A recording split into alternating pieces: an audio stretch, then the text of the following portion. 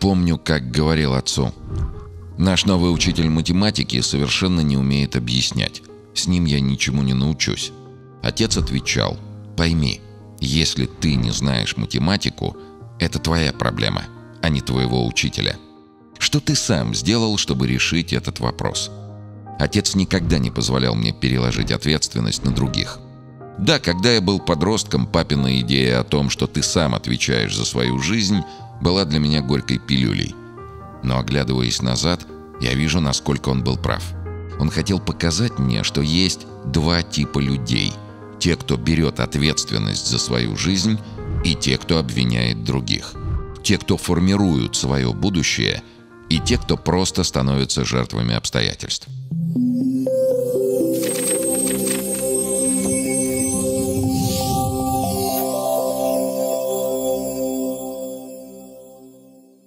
Когда ты делаешь выбор в пользу того или иного решения, ты тем самым определяешь, каким будет твое будущее.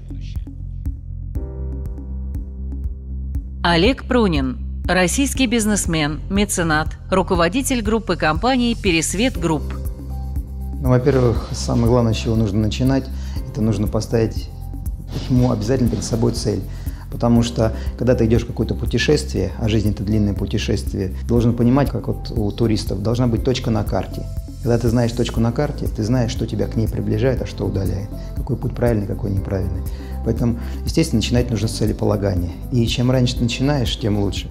Без этого ничего не будет. Если ты не знаешь точки на карте, ты никогда никуда не придешь. Меня спросили, «Э, кем ты хочешь быть? В 7 лет – я не знаю, кем я буду, не знаю. Вот закончу институт, решу.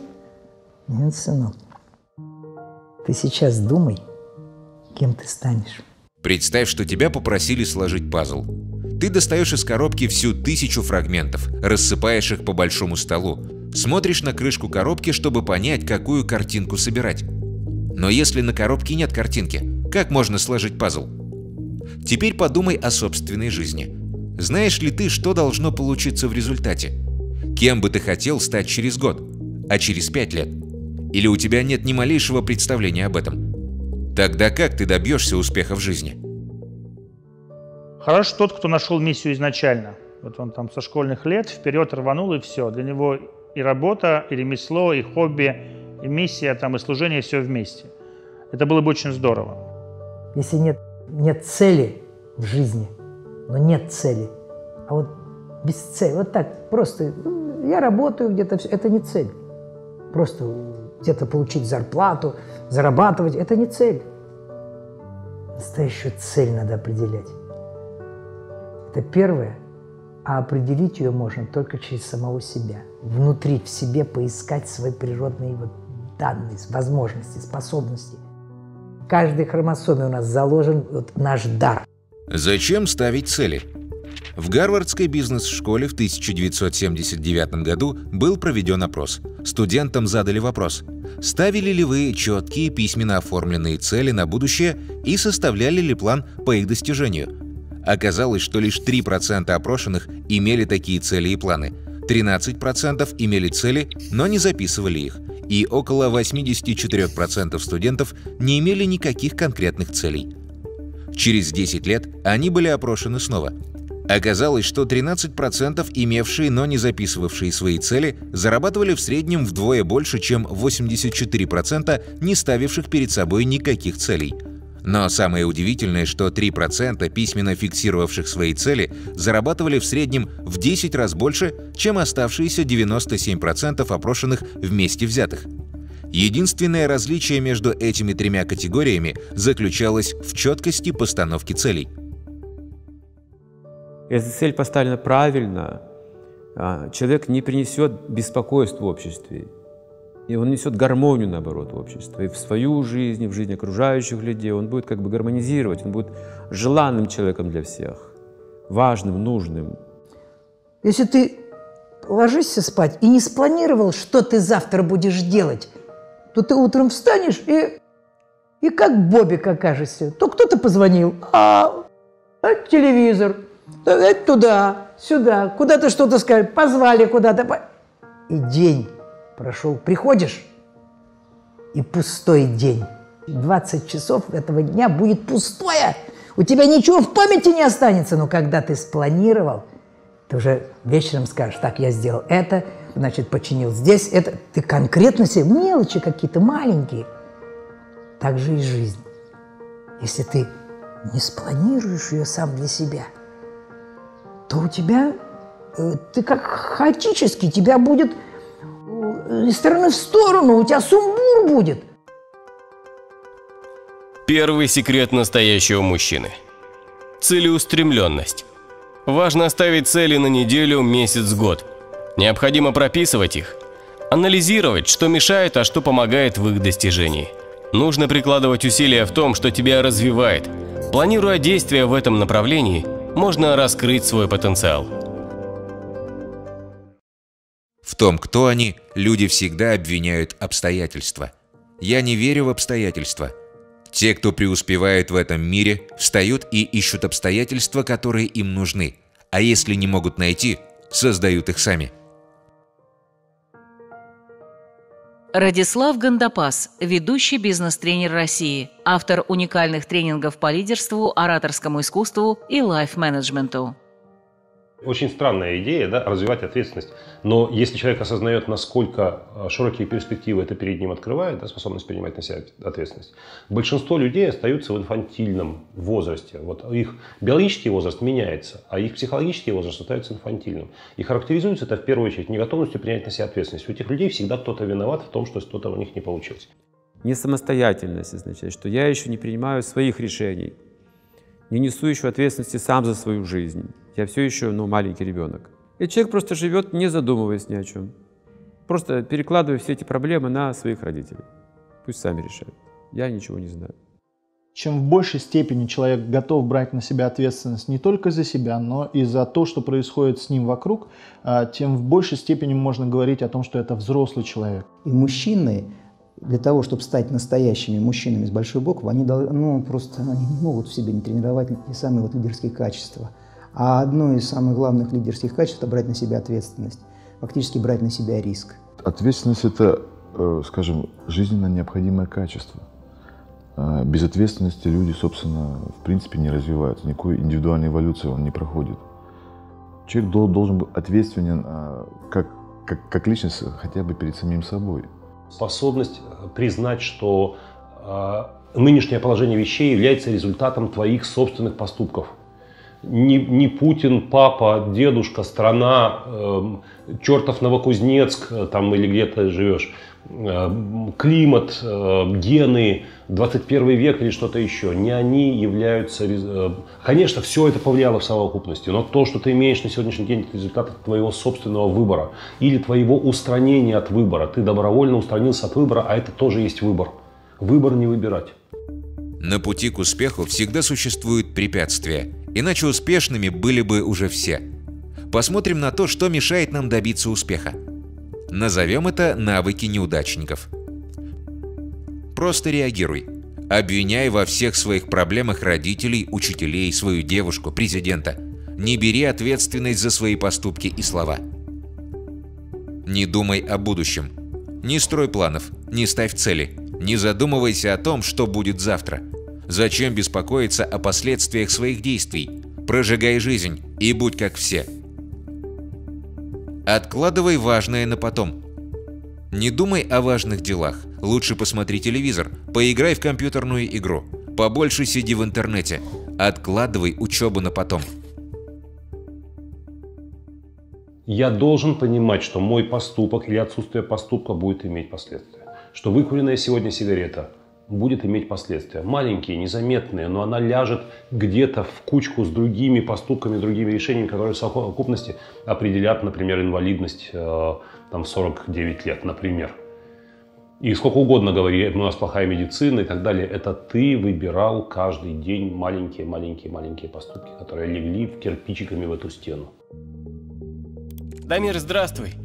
Не могу устроиться на нормальную работу. Часто предъявляют завышенные требования.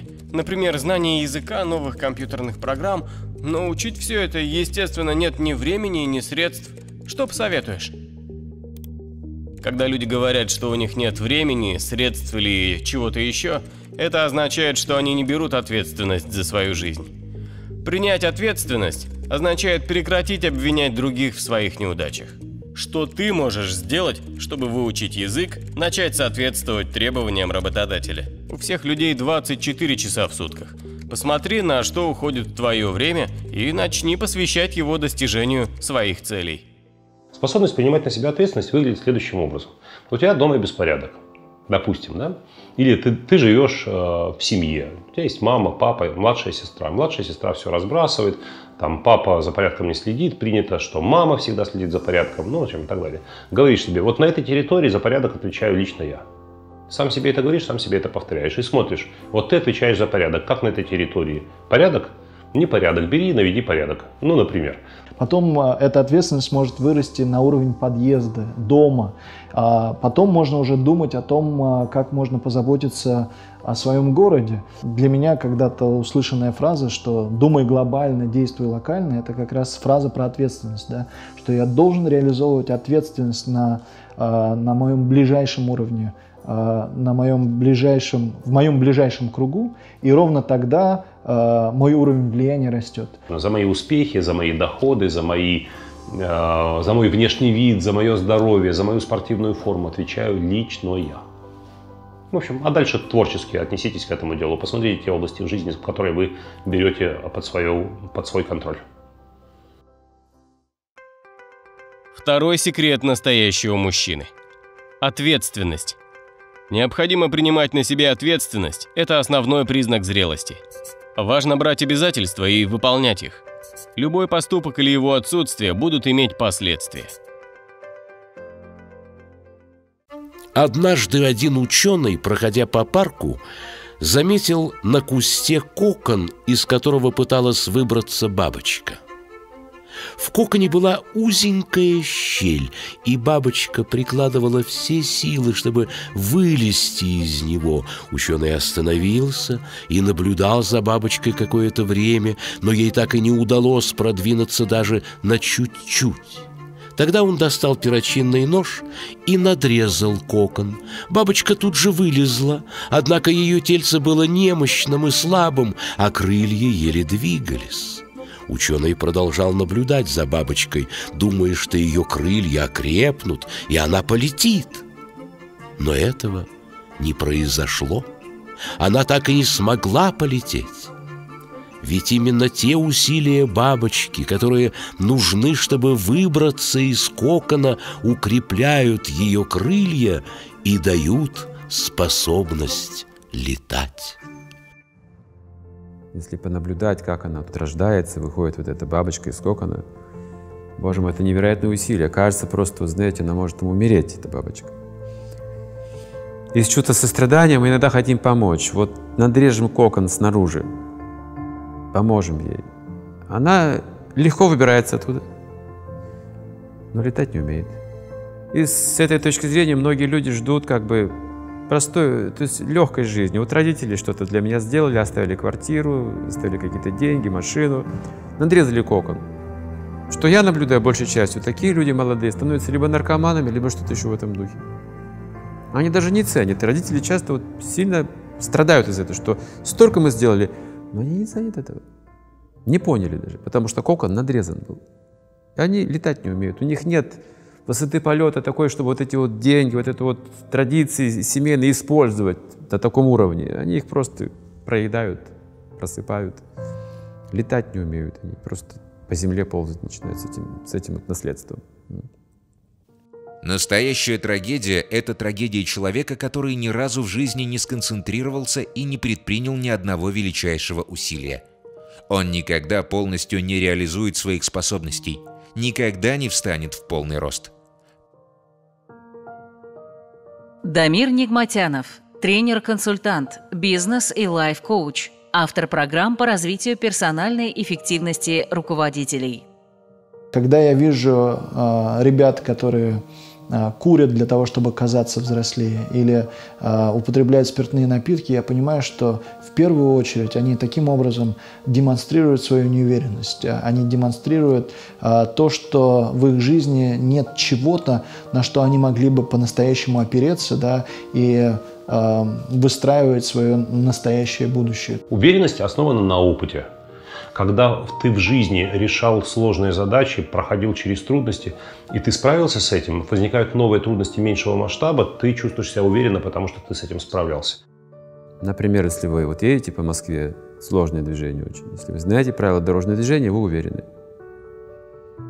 Если вы первый раз сели за руль, сразу в Москву поехали, то представьте, на каждом повороте вы не уверены, что делать.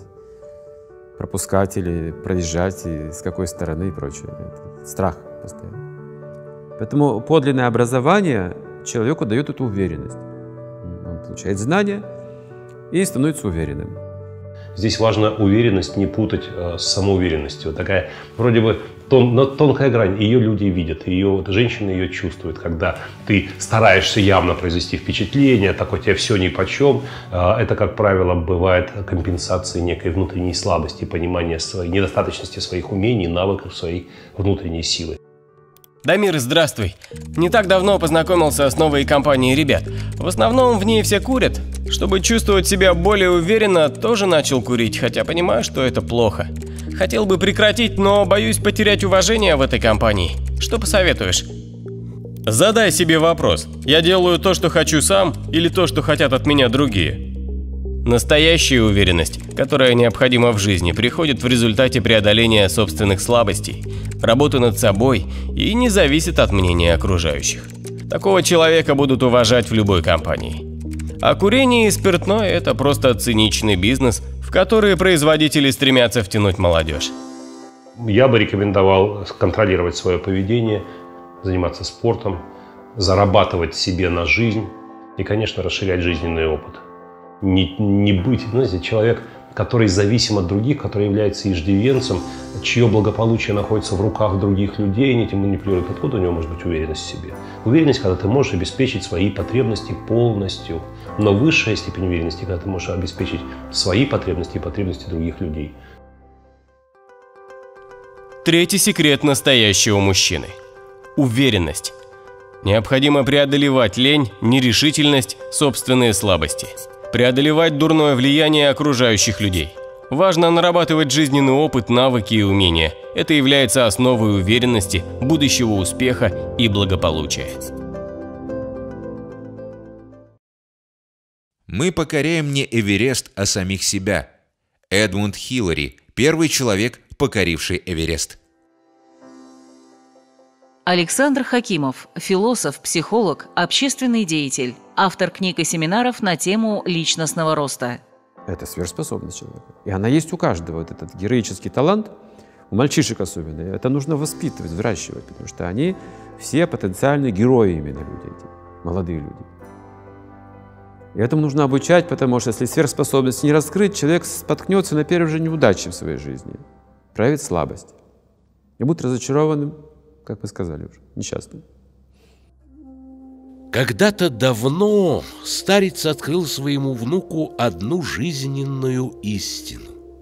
В каждом человеке идет борьба. Это ужасная борьба двух волков. Один из них представляет злость, гордыню, жадность, ложь, зависть и лень, другой олицетворяет любовь, доброту, правдивость, сострадание, бескорыстие и трудолюбие. Внук, тронутый до глубины души этими словами, задумался и спросил, «А какой волк побеждает?» Старец улыбнулся и ответил, «Всегда побеждает тот волк, которого ты кормишь». Белый черный волк – это, это две, две силы внутри нас самих, каждого человека. Есть темная сторона нашей жизни и светлая, чистая. Они не могут жить вместе, как добро и зло. Вот вечно борются, то добро побеждает, то зло побеждает. Возникает вопрос, конечно же, если они так жестоко борются, то кто же победит? Что же будет с моей жизнью-то вообще? Но на самом деле от меня зависит это, их поведение, успех или неуспех, от того наблюдателя как раз, который дает им пищу. Развивать качество – это то же самое, что класть деньги на свой банковский счет. Счет, который будет всегда с тобой. Посмотрим на график. Есть то, что ведет нас вверх, к успеху, и то, что приводит к неудачам. Вниз – неудачник. Лень. Негативное мышление. Критика и сплетни. Курение, алкоголь. Порнография. Дурное общение. Нарушение обещаний. Пустая трата времени в интернете, на компьютерные игры, на просмотр телевизора. Ложь. Все это совокупность ежедневных поступков, которые позволяют тебе прожечь жизнь. Таким образом прожить, чтобы ни в коем случае не подняться выше амебы, некого, некого существа без собственной воли, без собственного видения, без собственных желаний, некое биологическое существование провести. Теперь давайте посмотрим, какие качества ведут вверх к успеху. Чтение книг, творческое развитие, физические упражнения, общение с мудрыми людьми, трудолюбие, постановка целей, выполнение обещаний, добрые дела, честность. То есть вот эти все качества, они имеют какую-то тенденцию развиваться. Не просто вот я имею какое-то качество, оно будет развиваться. Как семечко, если посадить, оно будет расти. Вот любое качество.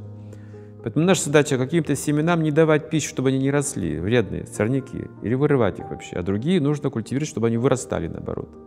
Хорошие качества. Если ты никуда не развиваешься, ты деградируешь, потому что вокруг тебя все развивается. Жизнь не стоит на месте. Дамир, здравствуй. Знаю, что ты многим помог в достижении целей. Хочу спросить совет. Я еще учусь в институте, но параллельно хочу пойти поработать. Стараюсь найти хорошую должность в сфере журналистики. Подскажи, пожалуйста, как лучше это сделать? Прежде всего, ищи общение с теми людьми, кто добился успеха в этой сфере. Какую бы должность ты не хотел занять, самое главное, что будет иметь приоритет, это те качества, которыми ты обладаешь.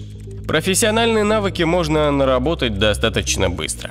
А качества характера, такие как инициативность, коммуникабельность, трудолюбие, развиваются постепенно и всегда востребованы, какую бы ты профессию не выбрал. Если человек хочет быть успешен в какой-то деятельности, он должен, опять же, взять идеал себе какой-то. Если он, например, фотограф, он должен учиться разных фотографов смотреть. Он должен иметь идеал успешной личной жизни. Если нет этого у него в семье, он должен взять этот идеал в других семьях, в других отношениях. Он должен иметь общение. Сейчас по крайней мере, в наше время, в наши дни еще у нас есть такая возможность через книги, лекции, YouTube получать достаточно хорошее общение – бывать на каких-то встречах, фестивалях и так далее? Ну, в первую очередь в развитии нуждается воля. Это самое, вот самое главное. Без воли вообще ничего сделать невозможно. Воля, внутренняя энергия, направленная на то, чтобы заставить себя сделать что-то. Первая задача воспитания воли – способности принуждать себя делать то, что нужно сделать именно тогда, когда это нужно сделать. А что тренирует волю? В первую очередь спорт – первую очередь спорт, потому что спорт и предполагает некое усилие над собой, над сопротивлением. Четвертый секрет настоящего мужчины. Положительные качества. Необходимо искоренять в себе плохие качества. Важно развивать качества, которые приводят к успеху. Трудолюбие, целеустремленность, ответственность, честность, доброжелательность. Чтобы развивать положительные качества, нужно общаться с людьми, обладающими этими качествами – У всех успешных людей есть привычка делать вещи, которые неудачникам делать не нравится. Успешным людям тоже не нравится их делать. Но это не нравится подчинено силе их цели. Руслан Байрамов, российский бизнесмен, президент Международного фонда «Диалог культур», основатель и руководитель этнографического парка «Этномир». Вначале кажется, вот-вот вся жизнь впереди, ничего подобного – Жизнь пролетает очень быстро. Чтобы потом десятки лет не переживать, не страдать, лучше там с 14 до 20 очень хорошо поработать, а потом уже это будет действительно легче. Э, сконцентрировавшись, двигаться своим путем, э, повторюсь, не распыляться, не тратить свою жизнь на удовольствие. А в молодости знания даются легче, быстрее. И нужно, не упуская момента, успеть наработать знания и опыт, которые потом в жизни будут являться капиталом. Я агитирую безостановочно. В молодости не теряйте времени, нарабатывайте знания и навыки. Есть ощущение, надо погулять, все такое, потом я успею. Иллюзия. Давайте посмотрим интересную статистику. Какие привычки есть среди богатых людей, а какие среди бедных? Привычка. Составляют список дел на день, неделю, год. Богатые – 81%, бедные – 19%. Фокусируются на достижении конкретной цели. Богатые – 80%, бедные – 12%. Едят фастфуд. Богатые – 30%, бедные – 97%. Занимаются физическими упражнениями не менее 4 раз в неделю. Богатые – 76%, бедные – 23%. Смотрят ТВ реалити-шоу. Богатые – 6%, бедные – 78%. Ежедневно читают развивающую литературу. Богатые – 88%, бедные – 3%. Уверены, что стоит всю жизнь учиться и самосовершенствоваться. Богатые – 86%, бедные – 5%. 84% богатых людей верят, что правильные привычки приводят к успеху, а среди бедных таких всего лишь 9%.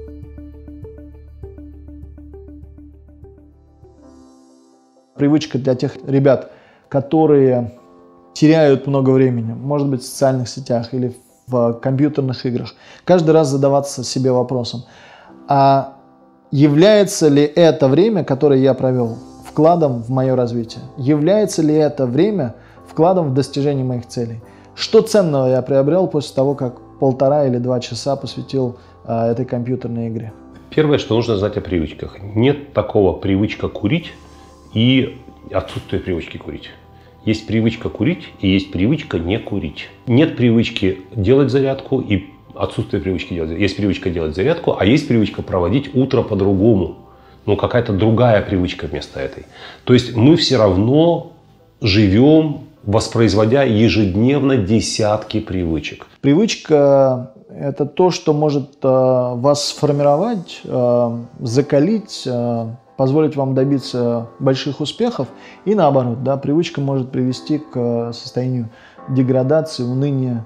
Поэтому привычка вот, – это мощнейший инструмент, который вы можете использовать. Ну, очевидно, что если человек воспроизводит э, ежедневно десятки или сотни ритуалов, которые являются его привычками, то у этих привычек есть определенные последствия. Человек курит, понятно, какие последствия у этого. Человек не курит другие. Занимается спортом, это другие последствия. Если у человека есть привычка каждый день полчаса изучать английский язык, через год он будет английский язык знать так, как не знают выпускники школ, которые изучают его несколько лет и сдают по нему экзамен. Вот если у него будет привычка каждое утро, допустим, вот, там, не знаю, едет в общественном транспорте, и у него привычка в транспорте не смотреть в окошко, э, любоваться другими пассажирами, а слушать аудиокниги, например. Если он будет слушать художественную литературу, у него невероятно разовьется язык, речь, красочность, красноречие и так далее. А, его будет приятно слушать, он во многих ситуациях может получить приоритетное право на что-то. Ему он понравится девушке больше, чем другие, если у него будет развитая речь. Он понравится потенциальному работодателю на собеседовании больше, чем другие кандидаты, если у него будет при прочих равных обстоятельствах более, более развитая речь, да, более грамотная ну и так далее. Это касается только вот такой простой привычки вставлять в уши э, наушники и на телефоне включать скачанную аудиокнигу. Пятый секрет настоящего мужчины. Положительные привычки. Поступки определяют привычки. Привычки формируют качество характера. Характер определяет судьбу. Важно находить и искоренять в себе негативные привычки. Необходимо формировать положительные привычки, например, прописывать цели и планы, читать книги, заниматься физкультурой и правильно питаться, планировать свое время. Начинать надо с себя – а чтобы начать с себя, нужно сначала проанализировать свою жизнь, найти в ней положительные значит, моменты и отрицательные. Важно не просто стать богатым человеком, да, важно не просто добиться какого-то успеха, а важно реализовать тот потенциал, который есть у вас. Поэтому должны быть шаги каждый день. Понимание, где ты находишься, понимание, куда ты хочешь прийти, и, и постоянная практика, практика, практика. Самое главное – просканировать себя и постараться понять свои сильные и слабые стороны и быть честным по отношению к себе и к миру. То есть кто ты такой, что ты умеешь. То есть честная диагностика внутреннего состояния, внутренних качеств. После этого постараться наметить некий план э, того развития, которое он для себя считает правильным, кем он хочет быть. И шаг за шагом, терпеливо, системно идти к своей цели. Пять секретов настоящего мужчины. Ставить цели, планировать свое время, брать ответственность за свою жизнь. Развивать уверенность, нарабатывая навыки и умения. Формировать положительные качества характера. Приобретать и развивать положительные привычки. Все перемены в жизни начинаются с самого себя. Чтобы стать настоящим мужчиной, нужно выиграть битву с самим собой – всегда помни, от рождения тебе дано все, что нужно для успеха.